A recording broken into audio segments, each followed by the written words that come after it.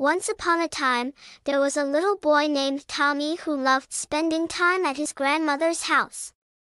His grandmother, a kind and gentle soul, always had a jar of colorful candies sitting on her kitchen counter. One sunny afternoon, while Tommy was visiting his grandmother, he spotted the jar of candies and couldn't resist the temptation.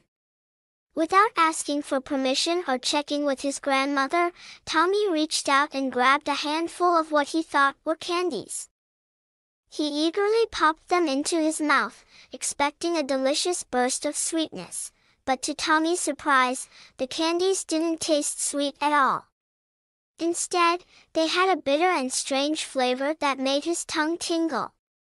Confused, Tommy looked at the jar more closely and realized his mistake. These weren't candies at all, they were his grandmother's medicine.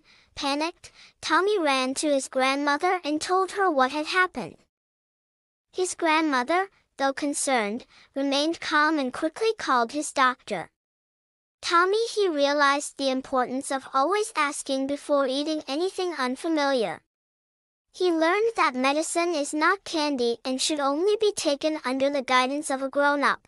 From that day forward, Tommy was more careful and responsible. He made sure to always check with an adult before putting anything in his mouth, whether it looked like candy or not.